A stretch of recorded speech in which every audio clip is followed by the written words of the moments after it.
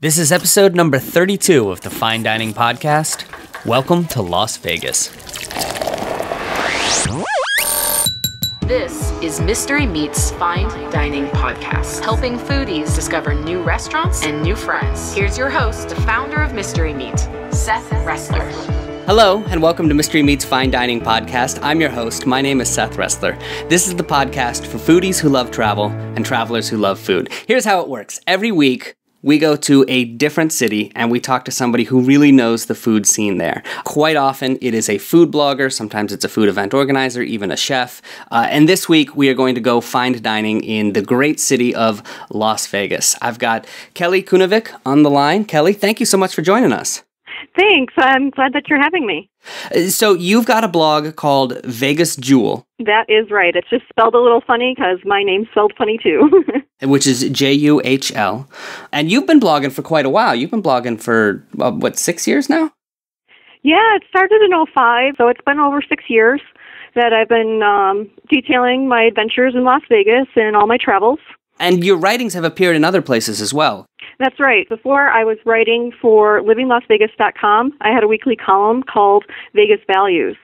So that was a lot of fun writing for that. I would do um, restaurant reviews or different things to check out that didn't break the budget. So we're going to talk to you a bit about that. We're going to, you know, find out a little bit more about your blog, talk to you about the culinary scene in the city of Las Vegas. Uh, we've got a great restaurant recommendation from you, and then we're going to play a game called Out of the Frying Pan. Sounds fun. So let's start with this article you wrote uh, a year ago for Southern Gaming and Destinations. Um, tell me about some of the things that have actually shown up in the city of Vegas in the last year. gosh, in the last year it's been a little slower, but in the last two years, that's when um, City Center had come on board. And City Center is one of the largest construction projects that we had seen. It was over like $8 billion. And that has brought a bunch of stellar restaurants to us, which has just totally changed the restaurant scene with even greater celebrity chefs and even more shopping and things like of that nature. It's been great. And then the Cosmo, the owner that took over the Cosmo, he was a total foodie. So he sought out the best restaurants that he could find. Now, speaking of celebrity chefs, you've actually got a trivia question for me. I do. I was wondering if you knew who the original celebrity chef to open a restaurant in Las Vegas was. The first celebrity chef to open a restaurant in Las Vegas? Yes. How long ago are we talking? I believe this was like in 1996. I could have the wrong year, so it's been a while. Okay, so so almost 20 years, not quite. Hmm. So it's not Bugsy Siegel. nope, a little after that. Hmm. I got to think about this. We're going to come back to this. But, you know, let's talk about this idea of celebrity chefs and this concept because I, you know, there was a long time where Vegas was known for uh, sort of the 99 cent shrimp and the free buffet line and, and things like that. And like you said, it's changed quite a bit, hasn't it? Absolutely. It's not just about like deep fried Twinkies anymore. We have probably the greatest collection of chefs within six miles that any city's ever seen. I know New York might have a problem with me saying that, but it's really centralized here where you have multiple celebrity chefs under one roof. I mean, within just one property, you can go to Wolfgang Puck's restaurants, Emeril Lagasse, Michael Mina, and like Tom Colicchio has a place, and Gordon Ramsay's just opened a bunch of new ones, and I could probably name another 10, 12 names. How does it work if you're a celebrity chef? I mean, what is the trajectory? Do you open up a big restaurant and then you go get the book deal and then you go on Food Network? Or is it actually the other way around where first you wind up being a personality and then you come to Vegas and you open up your restaurant? We've seen it both ways. Where like we have our own local chef Andre Rochat, who's um, over at Monte Carlo, and Andre has been here I think 30, 40 years. Where he had a small restaurant downtown on Sixth Street, and since then he's been featured on Food Network and a bunch of other things. So then like the personality developed after his career really took off because then there was all the notoriety with celebrity chefs and all that and now um he's got the four diamond restaurant andres which is awesome it's one of my favorites and then you have like mario batali who was totally established on food network before he ever had a restaurant here And then you have people like Shawn McClain, who is at Sage. He's not too popular on TV, but his food speaks volumes. And now he's going from fine dining to some of the newer trends, which is um, making food more approachable to all budgets. So he's going to be starting a pizza place called 550 over at Aria. And when we say that these chefs are in Vegas, are they really in Vegas or is it just that they're opening up something underneath their brand name? Well, it goes both ways. Again, like Wolfgang Puck, he'll come in for rotations where he'll check the staff to make sure that they're all up to par. Same thing with Emeril Lagasse and Tom Colicchio. Now, Michael Mina's been known to be in the kitchen periodically, and then Shawn McClain, he is in the kitchen regularly, and Andre Rochat's in the kitchen nightly. There's been many times I've dined there where he's come out to the table to see how we were doing. So it really depends on the restaurant. And most of these guys have places that are on the strip, I assume. Yes. Um, we are starting to see a trend of some chefs, not necessarily of the celebrity status, but at least that are notable from our city that they have long careers on the strip. They're starting to create restaurants off the strip that are a little bit more budget friendly and a lot less of the whole corporate culture so they can kind of do things their own way. And, and this is a question I've always been fascinated with. And, um, you know, if you live in Vegas, how much of your everyday life actually involves the strip? A lot of locals will say that they never go to the strip unless friends or families in town where they have to go and play tour guide and show them around. And I'm a little bit different than the norm because I was vacationing here before I became a local and I love the city. I love everything, including the strip. So my husband and I will go down on a Sunday or Monday night and we will go to a show, we'll go to a restaurant. Like we actually go to the strip a lot more than most locals do. And then when you go off the strip, what are the neighborhoods that a foodie should explore? Right now, Fremont East is exploding. This is an area where Zappos.com is coming, and the um, owner of Zappos is really into giving everybody a chance to um, redevelop downtown. So he's been working on this container park idea that's supposed to debut late spring, early summer. And that's going to feature a lot of small spaces for eateries and shops to kind of get their start. And then once they get that clientele built up, then we'll be able to open up actual like full on brick and mortar type businesses. So that's really exciting. So it's almost like an incubator space for restaurants? Like actual like containers like that you would see like on semi trucks or like on the shipping vessels and things like oh, that. Oh, okay, okay. They're actually designed around that. It's a quick and easy way to try and get something erected and like they're modular so they can move and they can re-identify the spaces based on the needs of the tenants that will be renting them. This is almost like those portable classrooms that they drop in places at schools when, right, when there's exactly. too many kids. Right. Right. It's a new concept and it's going to be all done locally. Like the, these containers are being built in Las Vegas, so it's really exciting to see how it's going to come together. And that's in Fremont East, you said? Fremont East, yes. And then Fremont East is over by like the El Cortez, and that area has been under redevelopment for the last couple of years, where there's already some great restaurants established, eat serving breakfast and lunch. And then Le Thai's a new Thai restaurant that is exploded. Like anytime you go in there, it's just crazy. So you might want to call and make a reservation beforehand. Yep. And then coming soon is a new gastropub called Park on Fremont. And that's going to have a bunch of rotating taps and also some higher end bar foods. Not sure exactly what the menu is going to look like yet, but that should be opening in the next month or two from what I've heard. Great. So, uh, any other neighborhoods worth checking out? The other neighborhood that I love is just the Summerlin Spring Valley area, which is in the northwest southwest part, depending like Summerlin's northwest, and then right below that is Spring Valley. And between those two areas, you have all these mom and pop restaurants that are owned by chefs that were previously on the strip. So, like the newest one to open is in Summerlin actually, and that's Honey Salt. And Honey Salt is owned by Elizabeth Blau, who um, which fits into the trendiness of Summerlin, and their food's fantastic. It's all like recipes that they've made friends and family for dinner, just different foods and mishmashes that they've collected from their travels. So it's all like farm to table inspired. Uh, you're in the middle of the desert. Where do they get? what farms know, are you talking I know. about? It's a really like it's a concept that other cities do so well, and whenever I travel, it's something that I absolutely love. So right. The fact that they're doing it here, and that's why it's more or less farm to table inspired instead of actual farm to table. Because otherwise it'd be cactus and rattlesnake, right? well, fortunately, we're very close to California where those areas are very fertile, so there's plenty of agriculture around us. Mm-hmm. So it's not too bad to be able to get food items trucked in or even flown in. So we can do pretty fresh things. Like we actually have farmer markets a couple times a week. So Okay. We're not in a complete desert out here. Now, let me ask you, you mentioned these neighborhoods that are off the strip. If I'm a tourist coming in, would you recommend that I actually explore some places off the strip? Or would you say, eh, you know, you're here for the strip, you might as well stay there? Well, if it's your first time, go ahead and stay on the strip and explore that because there's plenty of offerings on the strip. But if you're a veteran to coming to Vegas and you're getting kind of bored with the high prices on the strip or you just want to actually see what's going on off the strip where actual people here are living and working and the foods and stuff that we get to enjoy at a slightly lower price, then definitely come off strip. Like the biggest thing is a lot of people don't have rental cars and things like that when they come. So to get off strip going to be a taxi and then you start adding up significant costs to those dinners. Right. So if you're coming in and you have a rental car, definitely get off strip. You're going to save a ton of money and there's really, really delicious food to be had. Now, uh, what about foodie events? Are there any that are worth coming out for?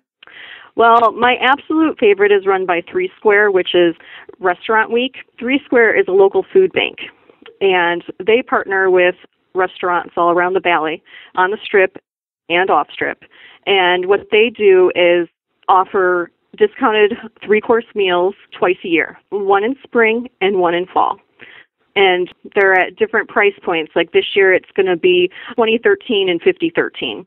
And those are three courses, and it's a great way to try new restaurants. It's a great way to also help the less fortunate because a portion of all the proceeds are donated to Three Square. That's awesome. What else is going on in there? I mean, you've got some food truck stuff there, I imagine.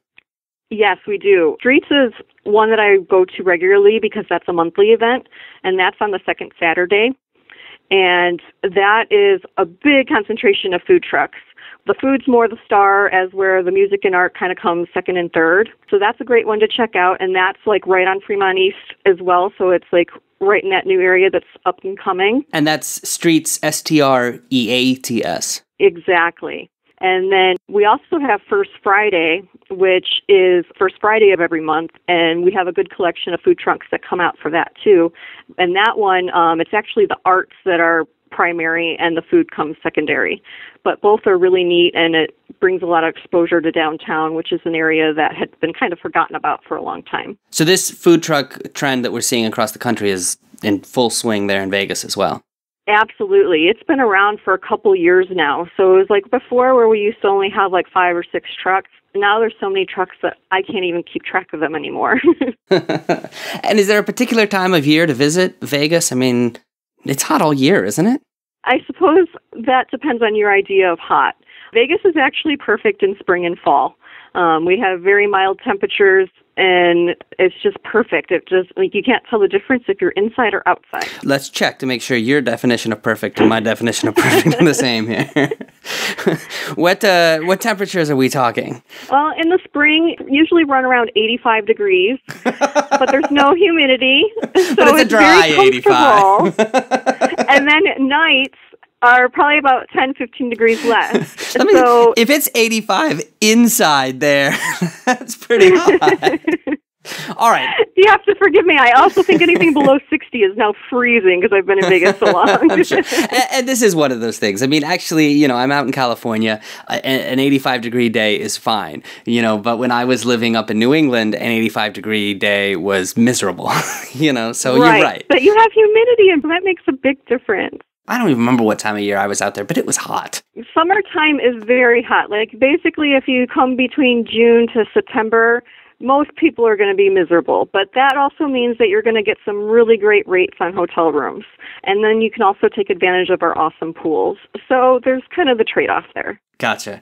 Well, talk to me about the trends that you're seeing because obviously this is a place because of the big celebrity chef aspect and because of, you know, all the tourism, this is a place where you see trends start.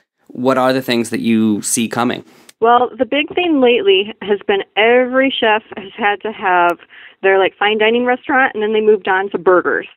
So it was all about the gourmet burger, and then for a while, they, everybody was doing tapas or small plates, and now this big one seems to be pizza. Really? Yeah, so it seems kind of funny how basic these things are, but it's just making it more approachable to the masses where not everyone can sit down and enjoy a $50 meal, but everyone can afford a $3 slice of pizza. So it's quality ingredients and quality everything, but the prices are a lot less. So Who are you seeing do pizza and what exactly are they doing with it? Well, Wolfgang Puck was one of the first ones to start to offer some pizza, but now, like I had mentioned with Shawn McClain, he was bringing 550, and that I really believe going to set the trend where more and more of these chefs are going to open up smaller places to do the pizza. If it doesn't come in 30 minutes or less, is it free?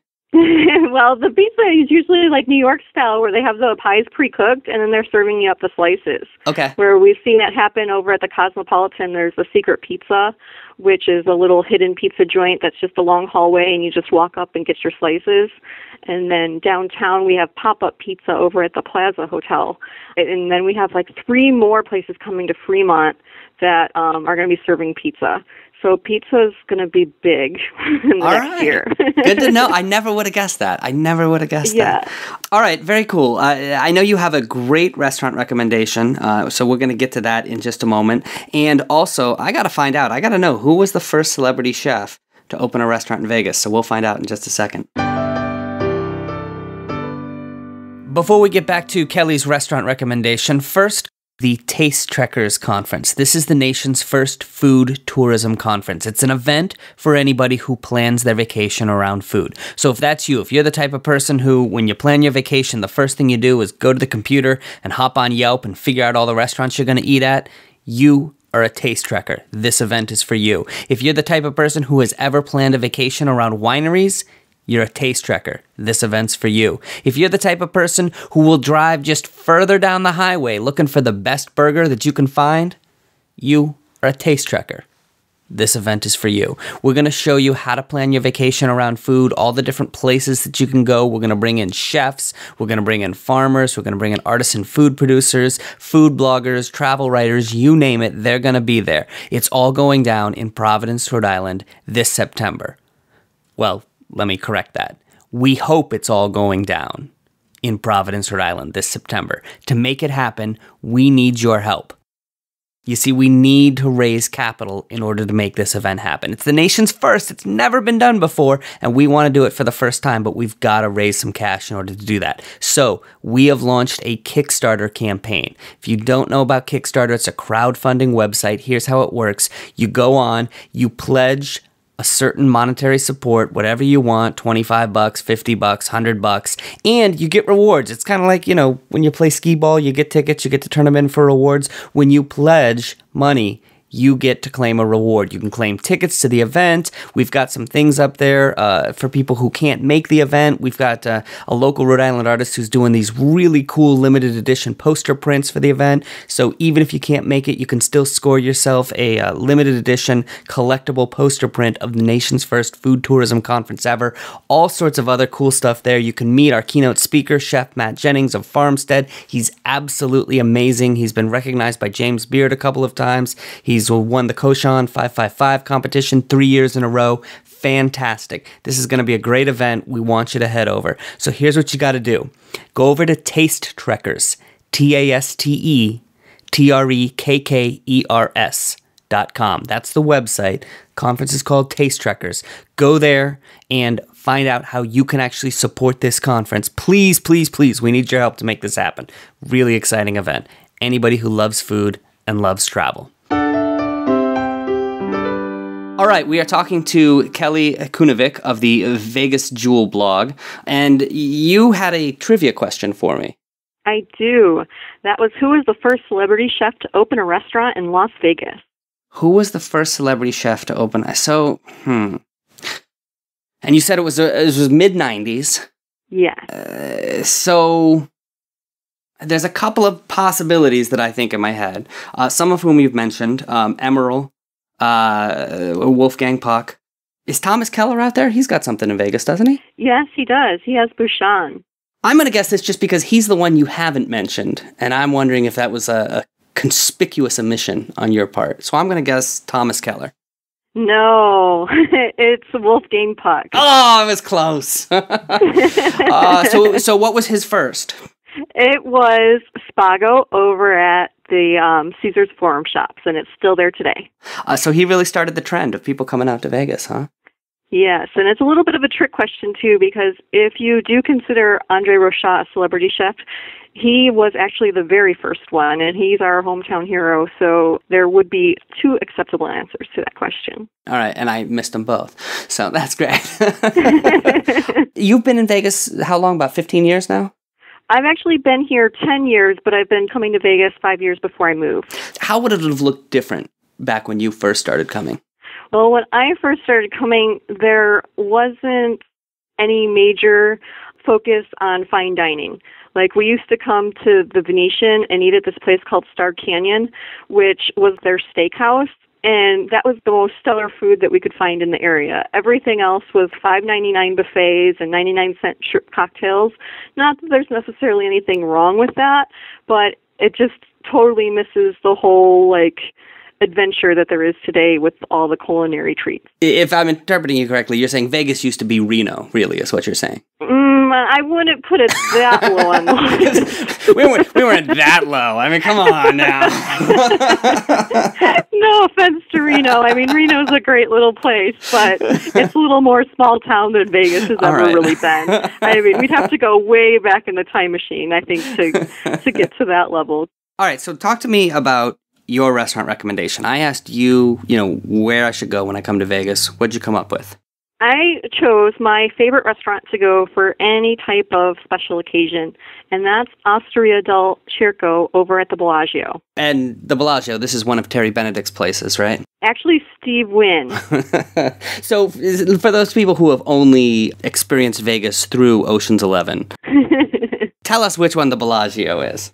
Well, Bellagio is probably the most famous or at least most recognizable because they have a huge lake out in front of the property and after dark the fountains shoot up 250 feet and they sing and dance to music every 15 minutes. And so, if you're familiar with that scene at the end of Ocean's Eleven where uh, everybody after the heist is standing up, you know, overlooking these fountains, uh, that's the Bellagio, right? Absolutely. And one of my favorite things about the Bellagio when you first walk in is the ceiling. Yes, Fiore di Como. It's beautiful by Dale Chihuly. Oh, I love. If you don't know who Dale Chihuly is, and he has nothing to do with food. No. he he is is one of my favorite artists. He is a blown glass artist, and the stuff that he does is amazing. And perhaps one of his most amazing pieces is the ceiling there. They've just got it mounted. I've heard it's like three thousand pounds or something ridiculous. I mean, don't quote me on that, but it's it's heavy. It is. It's it's insane and it's beautiful. And um, once City Center opened, Dale Chihuly actually got his art gallery over in the shops over in City Center. So that's definitely worth going to see if you need a break from the food. yeah, so on your way into the restaurant, make sure you check that out. So we head into the restaurant. Tell me about the vibe of the restaurant. What uh, what's the feel in there? It's a little playful. They have billowing fabrics that drape over the ceiling that makes it seem like a carnival tent. All right, and then who's the chef over there? That's Michael Vitangeli. And he's recently kind of taken over over there, but all the recipes are still those of Mrs. Maccioni. You might know the Maccioni family um, from New York. They have Le Cirque. They had that TV special on HBO, Table in Heaven. Okay, yeah that's French, and this is like their sister restaurant, which is serving up Italian cuisine, which is based on Tuscan cuisine. When I go to a, a restaurant at a place like the Bellagio, what do I need to wear? if you can dress up like in a nice dress and a suit and tie, I mean, it's fun to do it every now and then. But people who are traveling, they might not want to pack those things. So if you dress up in just like a nice pair of khakis and like a polo shirt, no one's going to turn you away and they'll welcome you with open arms. So I sit down, I'm looking at the menu. I want to start with an appetizer. What do you recommend? I'm going to recommend either the chef special or their carpaccio because the chef special rotates regularly. So see if that kind of piques your interest. Ask what that is, and if not, the carpaccio is on their menu, and it's very good. So talk to me about that. Talk to me about the the carpaccio. What do they do with it? It's just so good. Like they drizzle it with a little olive oil, and it's just so simple and fresh. It, it's just one that, that you just have to try. And then when we move on to the main course, what do you got in mind? Well, the main course is always a toss up where usually my husband and I will go for one or the other and then we share because the rack of lamb is excellent. It's one of the best in the city. Rack lamb, if you get it medium rare, it's really nice and juicy, and then it's got a nice crust of pecorino and thyme all around it, and it just holds in all the juices, and it's really good. So who gets that, you or him? That's usually him because I have a hard time saying no to Mama Edgie's ravioli. What's that? It's wonderful. It's these tasty little pillows that are filled with Swiss chard and spinach and sheep's milk ricotta cheese. It is blended with a butter sage sauce. So it's rich and creamy and oh, it's so delicious. So we got two fine choices there. What do they got to drink? I mean, what are you pairing with this meal? They have a huge selection of wines. I think they have over 900 wines. Ha ha! Woo woo! Yeah, with a big focus on those from Italy. Gotcha. Now I assume they have a sommelier who can you know help you with the wines there. Yes, absolutely. You have to have one in order to narrow down 900 choices. yeah, I find I find after 300, I'm really you know just no good. and then what about dessert? What do you recommend? Dessert, you have to get the tiramisu. It's made by angels, I swear. I got angels in the back room, you know, in the off season. and it comes with a scoop of espresso gelato, and then they always give you like complimentary biscotti, and it's just like the perfect end to the meal. And if you're really lucky, you can time dessert just right with the fountains, so you can kind of dig into the tiramisu with the biscotti, and you'll see the fountains dancing to the music just out the windows. That's uh, like a perfect Vegas night right there. Yeah. Of course, I'm sure there's a price to a perfect Vegas night. How much do I have to win over at the craps table in order to, to drop on this meal? It is pricey, but it's really not going to break the bank. I mean, $70 a person is your average price, and that's going to include a glass of wine and your entree, dessert, and then they actually have a pre-theater menu that's available. I believe it's 5 to 6:30 every day and that's $59 for three courses. Very good. Well, thank you for the recommendation. Are you ready to play a little game? Absolutely. Here we go. This game is called Out of the Frying Pan. Here's how it works I am going to ask you for a series of rapid fire recommendations. Just tell me the first thing that pops into your head, okay? All right. Let's say I lost really badly at gambling, so I need to eat on a budget. Where's your favorite place to go on a budget? Favorite place on a budget is Big Wong and their most expensive thing on the menu is like four ninety five, and they have like twenty items to choose from. What kind of food? Uh, Big Wong's Asian, so it's got a mix of some Thai and Chinese, and even some Malaysian dishes. Of all the, uh, and I know you've got some fancy places there in Vegas. Uh, of all of them, which one has your favorite decor? Oh, um, one of the prettiest restaurants is Mix on top of Mandalay Bay, the hotel at Mandalay Bay, and the dining room stunning. It's got like these pods that are white against these floor to ceiling windows that you can see the strip and the neon and the lights just twinkle outside, but the dining room is just as stunning. So it's kind of hard to even pay attention to the food because the dining room's so beautiful. Let's say you've got kids in tow. Is there a good place to go with kids? There's two good choices if you have kids in tow. It's also a great recommendation for large groups, and that is Grand Lux. There's two locations, one at the Venetian and one at Palazzo, and they have a really expansive menu. So it's going to feed the most picky eater as well as like the gourmet eater. So it's going to spread that gap so everyone's happy. Obviously, mixology's got to be big there, right? I mean, people doing interesting things with cocktails. They do, and um, the Commonwealth downtown is a new bar that's opened. It's two stories. They got a rooftop garden, which is pretty neat, and they are known for craft cocktails. So if there's a place to go, that's kind of like the place to check out right now. All right. Let's say I'm uh, there to get hitched. I come in for one of those, you know, Vegas chapel weddings. Uh, where's the most romantic place to go to dinner before you get married? I would say Andre's over at Monte Carlo is really charming and quaint, and you get like this big old booth for just two, so you could really have like a nice meal if you were doing the whole eloping thing. And then if you wanted to do a big family gathering, I believe they can accommodate that too. Obviously, there's no clocks in Vegas, right? So let's say that uh, I've been gambling until the wee hours of the morning. Where's your favorite place to go for late night food?